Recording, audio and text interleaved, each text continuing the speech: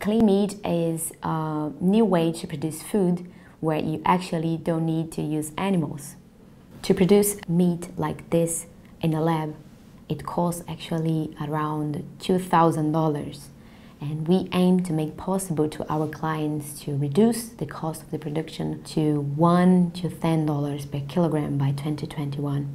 What's clever about our science that make us able to produce the product is the Nano 3D is a patented scaffold that is animal free, it's edible, it's affordable, and it allows the cells to grow into a structured piece of meat.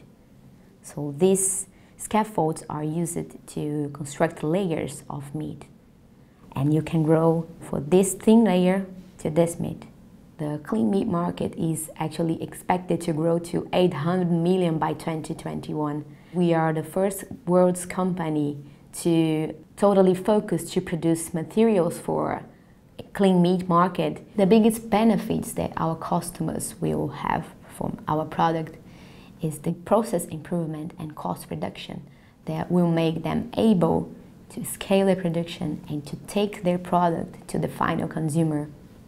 The next steps with our first version in order to take into the market is to scale up the production in order to start selling the material by 2019.